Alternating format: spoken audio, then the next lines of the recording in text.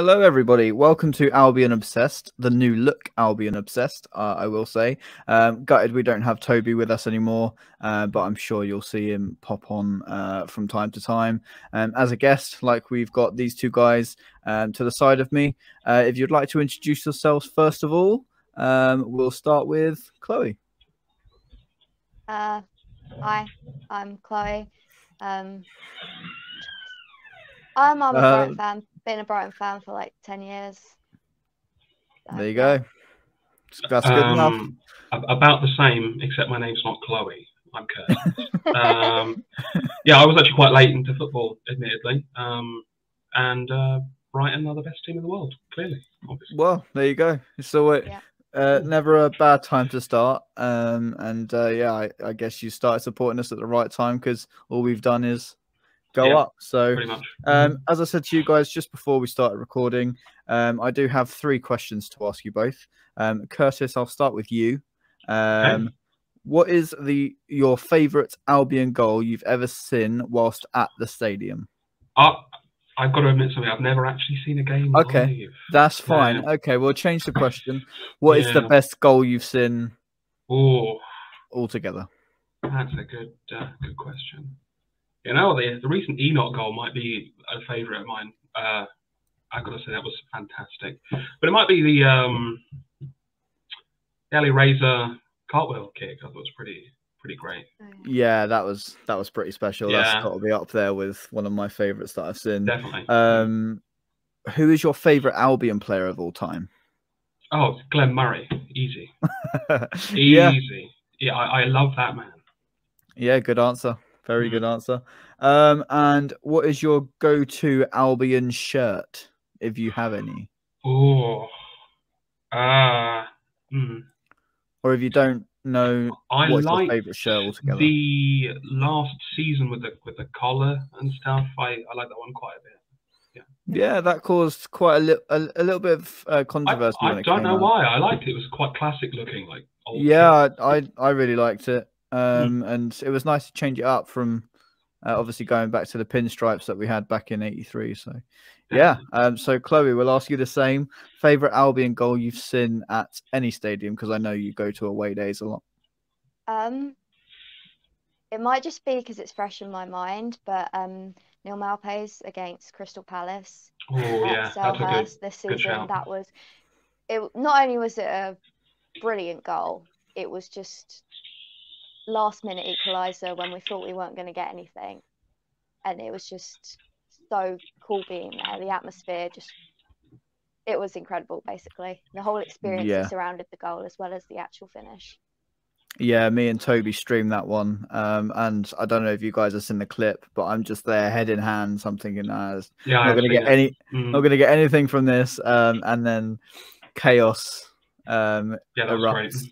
Uh, but yeah, I can only imagine what it was like at the ground. Um, that would have been absolutely nuts. yeah. Um, your favorite Albion player of all time? I'm gonna go Neal Maupay. How did I know? to. Yeah, fair enough. Um, and your go-to Albion shirt for a match day? I generally, just go with um, the one from that season, and I just basically wear home or away based on what's in the wash and what's in my wardrobe. So, If you were forced to wear one Albion shirt for the rest of your life, what would it be? um, oh. that's a difficult question. Um, I do really like the away one this year, the um, ultra turquoise one. Yeah, it's really That That's nice. nice. Yeah, that's nice. That is, is such a nice shirt, and um, it's the first one they've done, uh, the first away shirt they've that's been available in women's fit, and I prefer that fit to like men's fit, and so yeah, I might, I'll probably go that one. Yeah, Uh, good move from Nike then. Um, I, I know that Nike did a weird thing with the sizing this year where it was like slim fit. Um, and I'm not slim at all, and I got a large, and it fit like a small. Honestly, I had to send it back. Um, luckily, I got an extra large now, but it makes me feel a bit awful about myself. Um, but anyway, um, so obviously, the big elephant in the room is the result yesterday, which was incredibly special. Um, Chloe, you said you were at the game. Uh, first of all, what was the atmosphere like, uh, and how was it? Uh, I see on your shirt teams like Brighton. You you pointed it out at the start. What was it like to uh, obviously be there and silence Liverpool? Um, you say that we silence them, but honestly, they don't sing that much. They're really No? loud for "You'll Never Walk Alone," and then they might sing a few times, but we didn't Yeah. silence them because they weren't Oh. singing. I heard Yeah, Brighton definitely. fans more than Liverpool Yeah. fans watching it at home. Yeah, So it was. I saw a lot of people- consistent. Brighton Yeah. singing. I saw a lot of people tweeting um, that you know where's your famous atmosphere and stuff like this. Mm. Um, may, maybe if we play them in a Champions League semi-final at some point, we might get to see what it's like. But they only turn up for Champions League games. Um, just going in, into the game, really, um, straight off the bat, Solly March. Um, I just want to talk about him uh, because for me, when Cucurella came in, I was really worried that he was going to be completely pushed out the team, um, not have much to say, and be shipped out. And for me, for for a, obviously, you guys know how much Solly March means to the club, scoring the goal to send us to the Premier League. Um, I was yeah really nervous, but he's fitting in in a more advanced role now. Um, Kurtis, what do you what do you make of his sort of um, what's the word I'm looking for contributions uh, in He- that area? yeah, I mean he's just a great hand. He's he's he, I mean he's multifaceted. He can play loads of different positions. He's just so handy, and he's he's quite dangerous as well. I think people underestimate him as a player, definitely. Um, and it's a shame there was no one to support him in the in that that opening shot there because I feel like you know that that could have been a nice quick opening goal, which would have been amazing.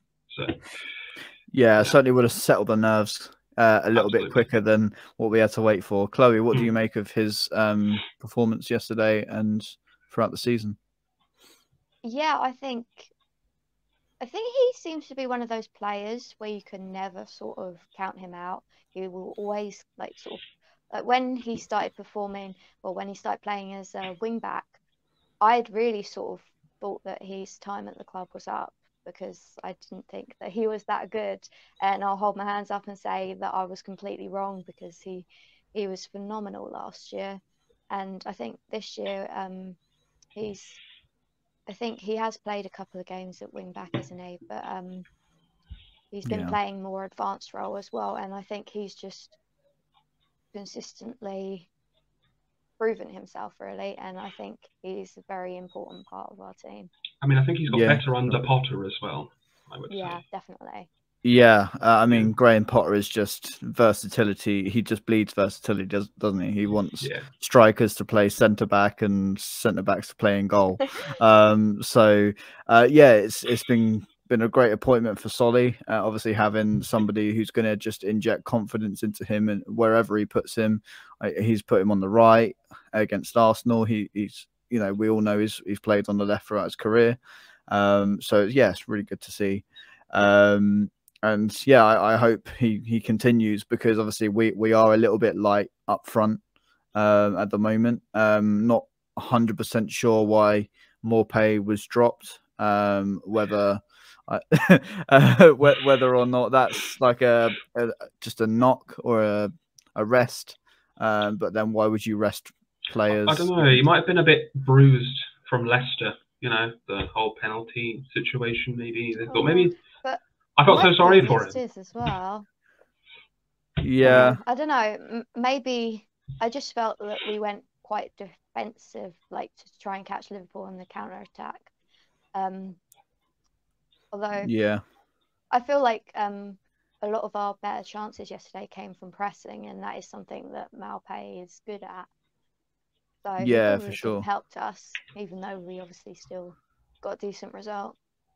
Hmm. Yeah, uh, I, I think a lot of fans don't actually realise what Neal Maupay does off the ball, um, and just see him as someone that just misses sitters all the time. But And he- actually, this season he's been probably one of our best players um, Mhm. going forwards. Um, he's uh, had probably quite a hectic uh, break uh, in preseason, uh, a hectic end to last season. Obviously, um, he's he's got I, I think it's a daughter. Correct me if I'm wrong. Um, so yeah, that's probably been a, a mad life change for him. But yeah, I think we're seeing somebody who has a little bit less pressure on them now and uh, a bit more belief, uh, which is really lovely to see. Uh, but we'll talk about one guy who came in and filled the central attacking role um, quite nicely, I would say. Um, I actually tweeted something and it jinxed it. Uh, Leandro Trossard. Um, I tweeted saying, Tra- uh, Trossard looks really promising today, um, but the end product questionable. Five minutes later, he goes and scores. Um, Me so, Self- so selfish of him. I know, I know, right? Um, but yeah, uh, Kurtis, what did you make of Trossard's uh, changed role through the middle? I love that man. He's just different gravy. He's so good. Like Le- Leo, um, I always find he's a little bit inconsistent, right? He has like like three or four really good games, and he just shuts off for like another three or four games. Um, but he seems to be doing very well at the moment, and I couldn't be happier with that. Like he's quite quickly becoming one of my favourites, like in in that squad.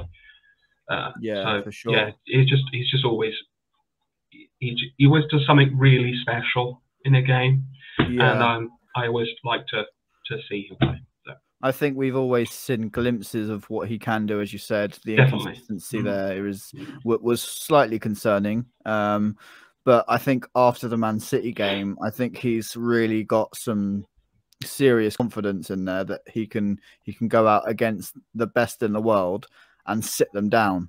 Um, Yeah. yeah, we saw it against Ruben Dias. oh, he, he had, had him on Mm. toast. Um, and then again yesterday against Andy Robertson, who was horrifically out of position, I've got to say. Yeah. Um, but Trossard's, you know, span him and and got the goal, um, and opened them up again. With something that was maybe a blade of grass offside. Uh, I'm not Oh, not yeah. 100 percent sure about that. so close. that would have been special. Um, yeah, Mhm. Chloe, what do you make of Trossard's contribution so far? Um, I think this season he seems to have um, actually probably the end of last season as well. He seems to have stepped up a gear. Um, I've always rated him. I think he's probably one of our most underrated players because what he does offer is is so good. Some like sometimes he you look at him and he's like, how is he not playing for a top team? Because he's just well, we are a top team, but Yeah. um, Top ten. Yeah. but um yeah i think i think he's he's really good and i also have realized um he shops in my work and whenever i see him he scores the next game Well, okay, go go for So I a need to keep an Trossard hunt out. every week. Every just hang single around. Yeah. Just hang around with him. Yeah. Just check the CCTV constantly, and uh, yeah, and then just stalk him. um, but yeah, um, we'll talk about uh, a guy uh, that not many people are wanting to talk about at the moment. Uh, but we'll talk football only. Uh, Yves Bissouma, uh, obviously back in the side. Um, I'm just going to remove Trossard from the screen because we don't need to see him anymore. Um, yeah, so sorry. Uh, Bissouma obviously back in the side after a few appearances on the bench. Uh, came off again off the bench against Leicester, did he? Correct Yeah. me if I'm wrong. Yes. he did. Um, and yeah, a lot of fans are a little bit split as to whether he should be playing, shouldn't be playing. Um, we won't go into that, but obviously an amazing performance yesterday and clearly showing why we need him in the squad. Um, but yeah, um, if anything was to happen, we also have a player who can, I think, easily replace him, and that guy is just below me. Um, not you, Kurtis. I'm sorry. Oh. Um, but Enock Mwepu. Um, we'll just talk about that goal first of all. What a strike against probably one of the best goalkeepers in the world. Um, Chloe, you were behind the goal. D- did you did you see that coming? Um I'm, i've got to be honest the view at anfield isn't brilliant when everyone's standing there's not sort of much step up but um yeah so i didn't actually see who scored it i just saw it go in and i, I knew it was a Oh, good man. goal because we didn't look like it was sort of out of nowhere really Um, so you just see Alisson sort of scrambling and it hit the back of the net, and it was like unbelievable. Wonderful. Was Um, you quite far back was- then?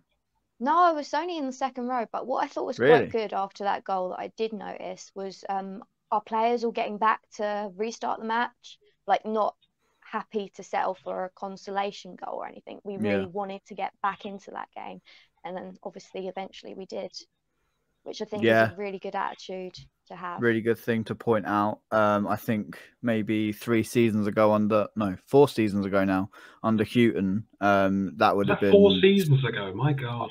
I think so. I think we've had three seasons with Potter now. This is our third, is it? Yeah, Yeah. That's, that's Um, crazy.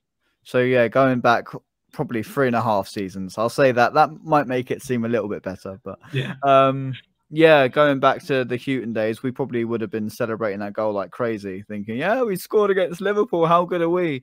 But as Mhm. you say, like it's the mentality to get back and say, "No, we we can beat this team.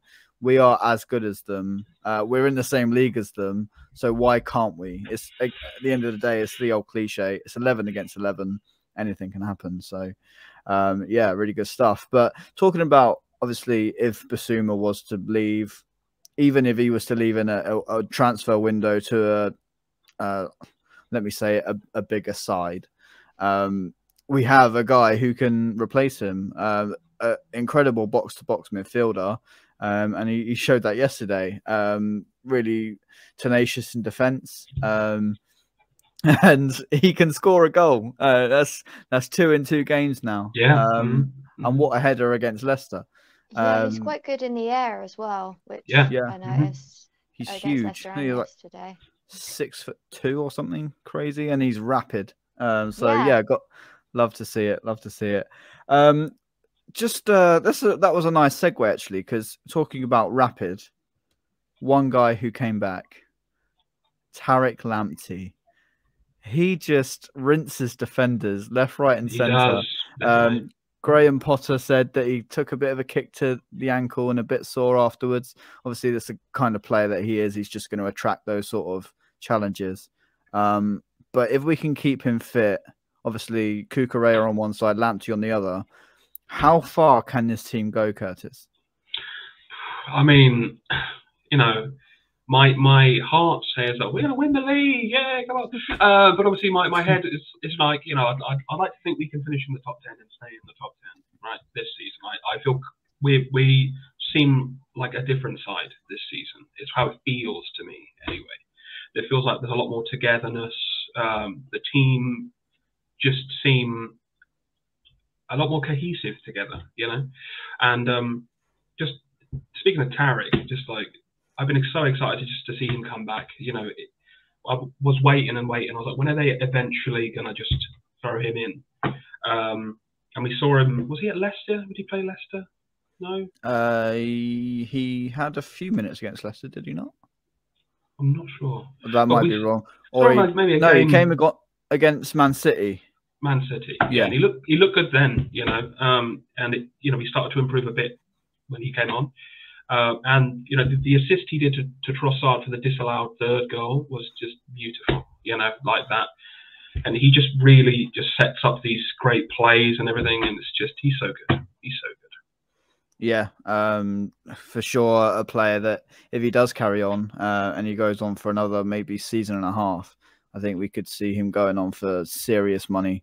Uh, yeah, maybe- I, I worry about losing him. Admittedly, I do worry. I about mean, that. if if it's twenty million pounds more than what Ben White went for, then we are. I don't know, how can we uh, reject Ben that? who? I Obviously- don't know Ben. I don't know. Ben No, I don't know. I don't know. Um, Chloe, what do you think? How far, or let me rephrase that. How far ca do you think Tariq Lamptey can go? I mean, I, I don't career. think there's any reason he can't go right to the top. He is just a phenomenal player. He's still young.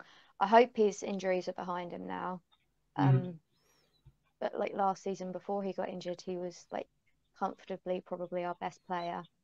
And this season he's he's looked like he hasn't been out. You know, he hasn't really he's coming back to fitness, but watching him play, his his performances are at the same level that they were before he got injured, which is quite unusual, I think. Sometimes it takes players quite a lot of time to readjust, I guess. Yeah, Um, yeah, he's just he's he's so rapid for a start, um, Mm.